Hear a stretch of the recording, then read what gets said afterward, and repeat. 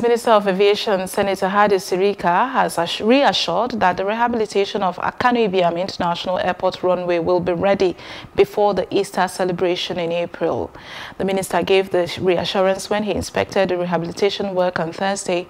He also stated that the rehabilitation and completion of the terminal buildings will be done, same as perimeter fencing of the airport and installation of the airfield lighting, among other facilities.